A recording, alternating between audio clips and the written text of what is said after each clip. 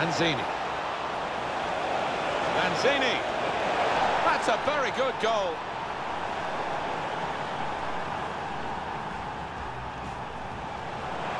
He's very confident with the ball at his feet.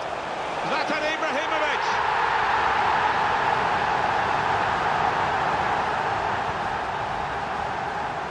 He's one of the best, Martin.